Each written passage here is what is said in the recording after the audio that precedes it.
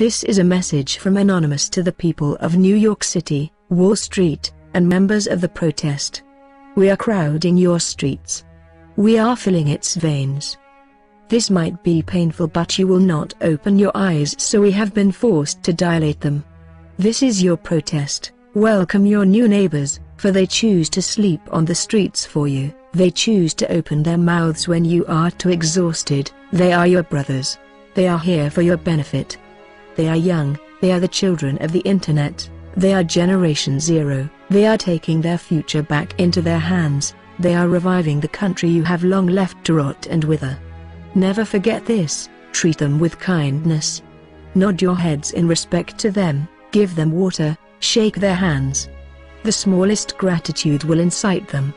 Wall Street, Four years ago you saw that the country was brittle, you saw that it was ripe for the taking and so you did. You shattered the country, and you collected the fragmented pieces to line your pockets. We stand here, united and strong, four years later. We stand before your butcher block, before your slaughtering house. Did you think that the people would not come to know what you have done? You sit before your trading screens, before your analysis, you are the players of the game, and you play very well, you rig the game even better. You care very little for the lives of average Americans, mere pawns. But you have strongly misread the world. Your complete lack of compassion for your fellow man has left you with a grave error. The game is over Wall Street. You forget that a poor man will slit your belly to eat what you have already eaten. Can you hear us Wall Street? Can you hear our racket Goldman Sachs?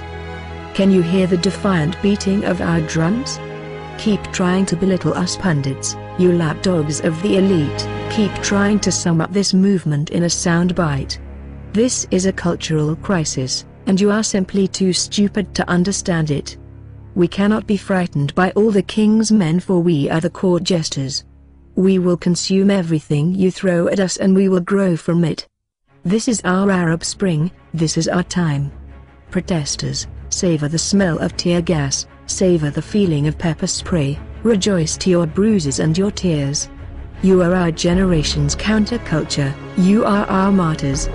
Clench your fists and grind your teeth, do not be moved and you will have fire breathed into you. Smile at the police, ignore the pundits, the worse it gets, the stronger you become. The more hopeless your movement looks, the closer you are to success. You will be written into history, you will be backed up. We will not let your cries go idle we will not allow your fire to be smothered. We are anonymous, we are legion, we do not forget and we do not forgive. Expect us.